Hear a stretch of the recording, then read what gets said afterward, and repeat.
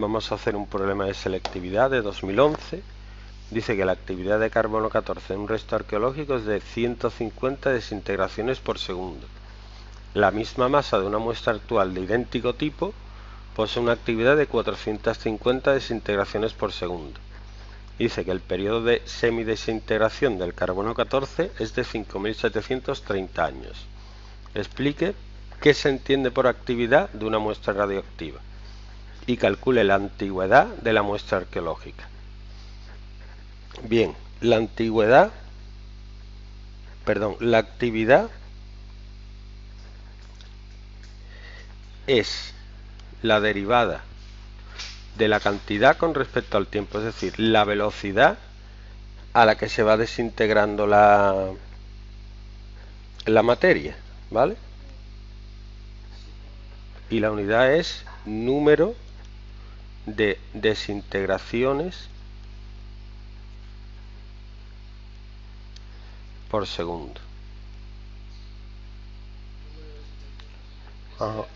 Mm.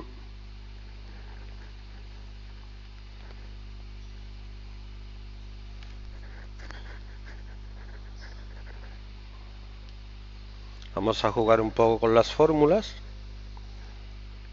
Como n es igual a n sub 0 por elevado a menos lambda t, si yo derivo esto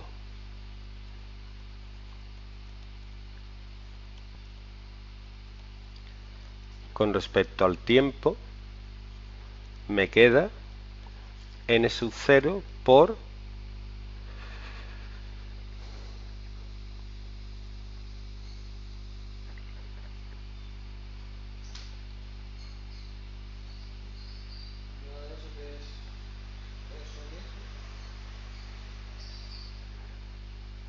por lambda por elevado a menos lambda por t.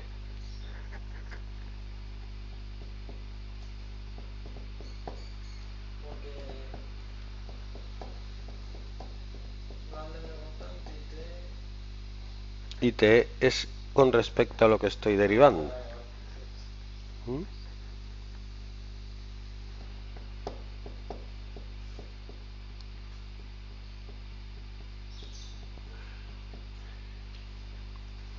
Y como esto es n, puedo decir que la actividad es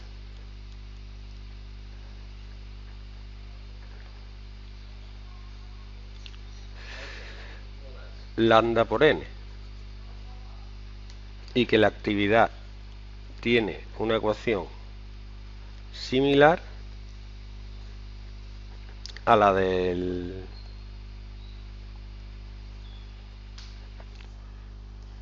a la del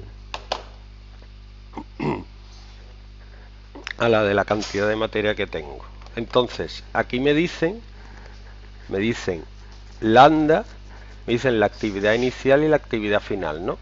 la actividad inicial sería la actividad actual que sería 450 desintegraciones por segundo la unidad es Becquerel y la actividad es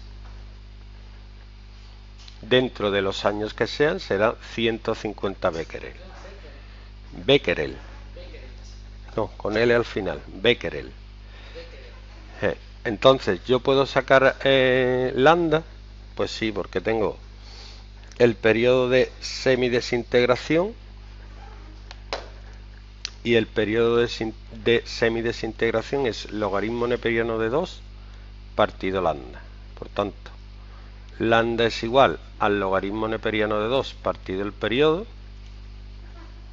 de semidesintegración vamos a pasar el periodo de, semidesintegración a segundos sería 5730 años por 365,25 por 24 por 3600 serían 1,80825 048 por 10 elevado a 11 11 y entonces lambda sería logaritmo neperiano de 2 partido eso sería 3,833 por 10 elevado a menos 12 aproximadamente.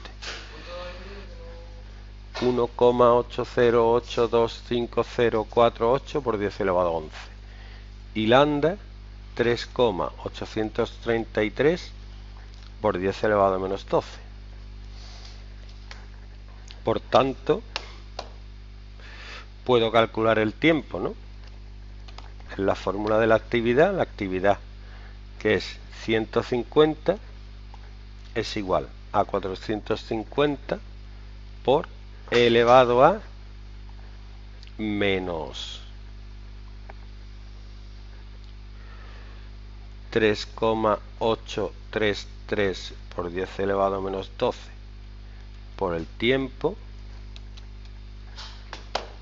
150 partido 450 es un tercio tiene que ser igual a e elevado a eso 133 por 10 elevado a menos 12 por t hago logaritmo neperiano en los dos miembros me queda logaritmo neperiano de 1 partido 3 que es menos 1,098612289 igual a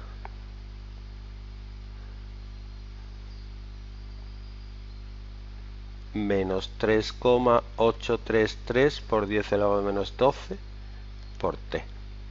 Así que me sale que el tiempo de la muestra radioactiva es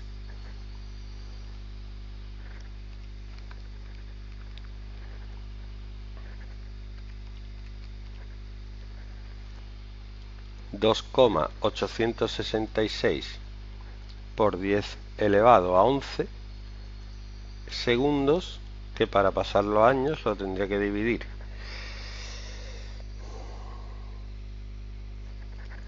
Entre 3600,